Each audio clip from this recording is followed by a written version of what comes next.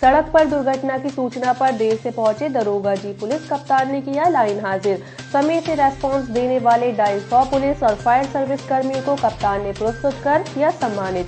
देर रात पुलिस की मुस्तैदगी और तत्परता का जायजा लेने के लिए रामपुर पुलिस के कप्तान शिव हरि मीणा ने सड़क हादसे की झूठी सूचना डायल सौ पुलिस, फायर स्टेशन और थाने पर दी, जिसके कुछ समय में ही सूचना पर सबसे पहले डायल सौ पुलिस की पीआरवी वैन पहुँची और मौके पर पुलिस कप्तान को देखकर हक्के बक्के रह गए, जिसके कुछ समय बाद ही मौके पर फायर ब्रिगेड की टीम भी पहुँच गई।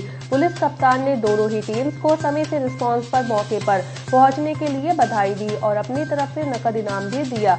वहीं इस सूचना पर सबसे देर से पहुँचने वाले थाना प्रभारी को जमकर फटकार लगाई। हालाँकि दरोगा जी कप्तान साहब से अपनी गलती छुपाते रहे, लेकिन कप्तान ने उनकी एक न सुनी और लापरवाही बरतने पर दरोगा जी को लाइन हाजिर कर दिया। पुलिस की मुस्तैदगी की आकस्मिक पड़ताल करने के संबंध में पुलिस कप्तान शिव हरि मीणा ने बताया आज रविवार का दिन था।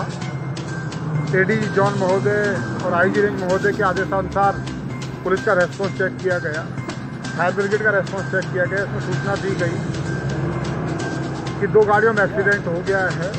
गाड़ी में आग लग गई है और कुछ लोग घायल हैं। तो तत्काल उस रेस्पॉन्स को जवाब दिया है। हमारी डायल हंड्रेड लगभग 11 मिनट में आठ किलोमीटर की दूरी कर तय करके यहाँ पे पहुँच गई। साथ साथ फायर ब्रिगेड को सूचना दी गई तो फायर ब्रिगेड भी विद इन टाइम पहुँच गई है।